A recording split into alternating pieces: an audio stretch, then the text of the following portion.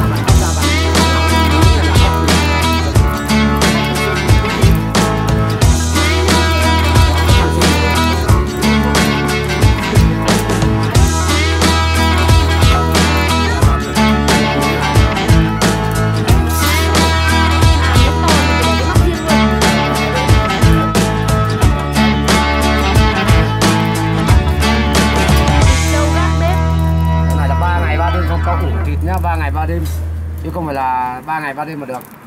Phải ổ cơ.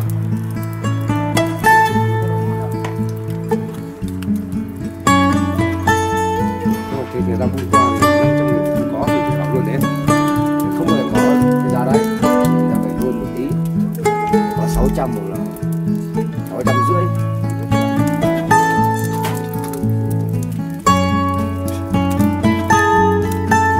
cái chữ xài từ trong này bạn cái gì? Cái số xài từ trong bao giờ nó đỏ nó to này nó to thành vân này. Không bao giờ lệch đâu được.